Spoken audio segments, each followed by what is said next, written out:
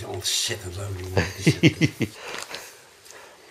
Dat is tussen haakjes, hè. Het Ja. gaat eventjes over die rack. Ja, In verband eh, met Mondriaan, die nou dat stuk heeft ingebracht. Eh, bij Nelly en, en, en, en, en, bij Van Doesburg. Die eh, klassiek alles wisten, maar niet van dat soort dingen. Hè? Nou, en, en, en, de, en, en, en ik hoor dan ineens die rag en ik denk, godverdomme, maar er is wat mee. Nou, dat is dus het, het kleine stukje, tussen haakjes. Hij zal die piano rags eveneens rond de voorvorige eeuwwisseling als verbazingwekkende muzikale nieuwigheid aan de orde niet bedoeld hebben, Mondriaan.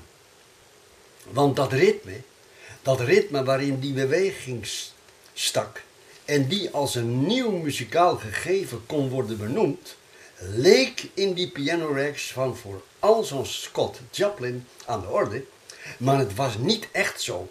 De muziek overheerste, al wemelde het niet voor niets van syncopen.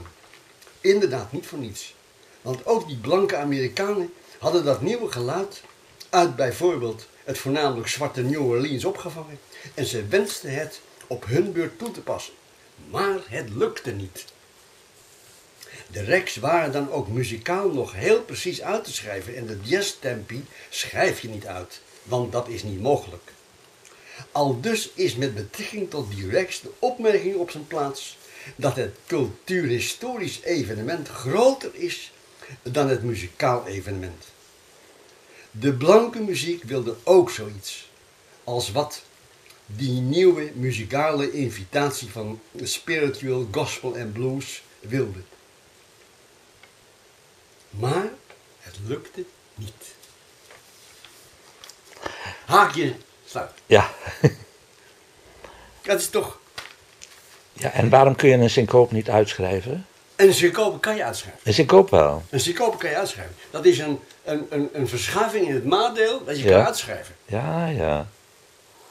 En, en, Maar- en, en westerse muziek was uitgeschreven muziek. Ja, Dus en met die syncopen konden ze en ze kwamen in de buurt. Maar die jazz is niet uit te schrijven. Dat is niet een, een, een, een, een, handig veranderingetje. Dat, is, dat, dat gaat gewoon op een bepaalde manier door. En er zitten ook variaties in. En dan een toontje la- langer en een toontje korter. En, hmm, dus dat moet je horen. Moet je horen. Ja. En later hebben die Westerlingen het begrepen. En daarom kon die, kon die, die boogie woogie ontstaan. Want die is westers, ook, ook westers van, van, van, van, van, van uitvinding. Maar het was heel wat anders dan de rek. Want de rek die kon je nog uitschrijven, dat waren syncopen.